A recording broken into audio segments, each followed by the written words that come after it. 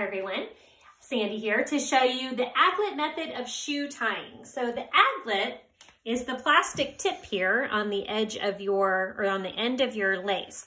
You're gonna take that aglet and push it through the top hole of your shoe, creating a loop. You're gonna do that with the second lace, taking the aglet, pushing it through the top hole of your shoe. Now you have two loops. With those two loops, you're going to make an X, like so, crisscross, crisscross.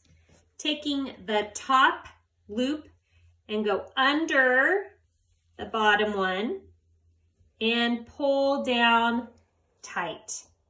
So now you have a single knot. You're going to do that a second time, crisscross, making an X, take the top loop, go under the bottom and pull down tight. Now you have a tied shoe and you can remove the aglets from the holes if you like, or you can keep them in there for next time the shoe needs tied.